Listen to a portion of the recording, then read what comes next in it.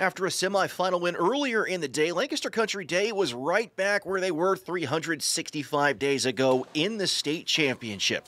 The Cougars walked away with the silver last year. Lower Moreland was the only thing separating them from gold this time around. The Cougars have been as strong as any team at this time of year with a pair of 5 0 wins in the first round and quarters, followed by a 3 0 win in the semis. In the championship, Michael Georgelis was able to get his team on the board with set wins of 6 1 and 6 2. That sounded good to teammate Freddie Bloom, who picked up his W for the Cougars by the same set results. But Lower Moreland also grabbed a W in a singles match and a double, so it all came down to the doubles team of Andrea Nero and Ivan Benny. The pair won their first set 6 to 3, but the second set was a slugfest. Both teams going back and forth. Fans were standing on furniture to try and get a better view of every serve and return. It was standing room only for Rose at Hershey Racquet Club, and all eyes were on them. When finally, it happened.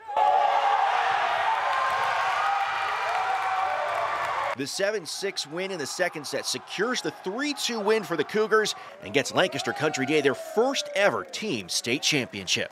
I mean, I don't really remember it to be honest, but I mean, euphoria, I don't know, like it's insane. Last year I was watching this match as a, as a uh, freshman bench warmer.